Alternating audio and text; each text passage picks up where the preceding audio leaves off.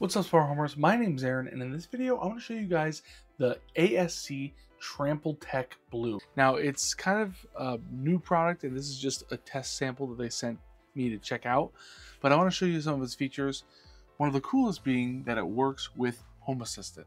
Now, this TrampleTek mat comes with three or four, I guess you'd say, basic components. You have the mat itself, which is a pressure sensitive mat, and I'll show you a little bit more about it in a second. It comes with this Bluetooth outlet, and actually what happens is the mat pairs with this, which is kind of interesting.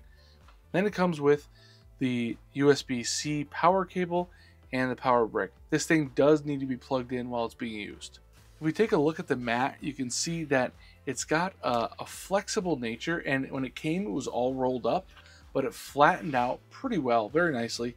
And you can see that it's got a, a, a rugged, um, lined texture that's really good for, you know, grip and for wiping your feet off on the mat.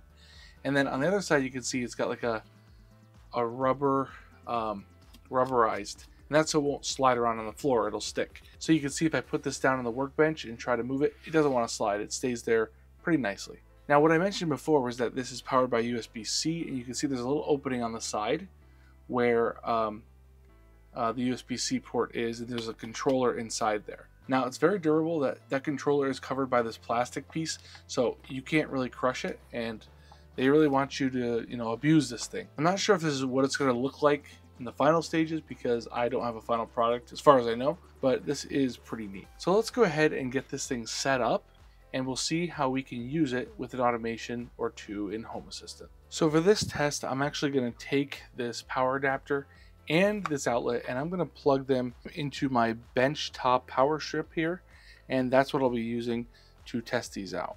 While we're plugging in, they do give a really nice long cable and that means that you can use this um, you know, quite a distance away, which is pretty nice. So let's go ahead and plug this one in and then we'll plug in the mat just like that. See it blinking blue here? Now it's stopped blinking and turned solid. So I think they're paired. So how this works in Bluetooth mode is that this mat is paired with that smart plug. If I press down on the mat, it toggles the power state of the outlet.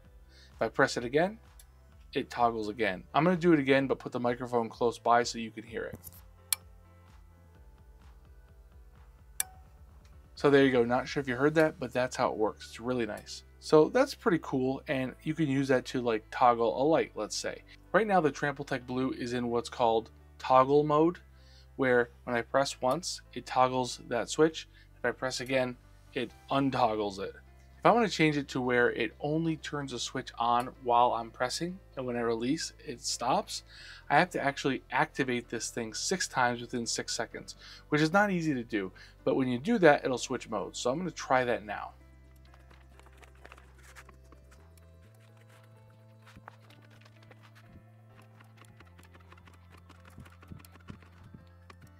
Okay, so after a bunch of pressing, I got this thing to switch modes, which I prefer, which is pressing it, and when I let go, it knows I let go. Um, I can always try changing that back, but now I want to try setting this thing up in Home Assistant. Alright, so now we moved over to my PC because I want to add this thing to Home Assistant. All we're going to do is put ESP Home onto this controller by plugging it into our PC and following some instructions that they've created for us. We just go through the setup process here, pretty much just walking through step by step how to configure ESP Home install it on the controller while it's plugged into our PC, and then modifying the configuration YAML for the ESP Home so that this thing works the way we want.